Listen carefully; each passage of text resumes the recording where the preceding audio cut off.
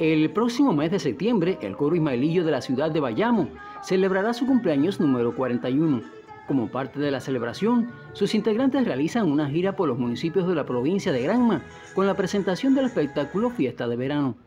Estamos felices porque una vez más eh, las autoridades de Granma al ver el trabajo que ha desplegado el Coro Ismaelillo, sintió la necesidad de que nosotros pudiéramos girar por todos los municipios y llegar con esta propuesta, en este caso, fiesta de verano.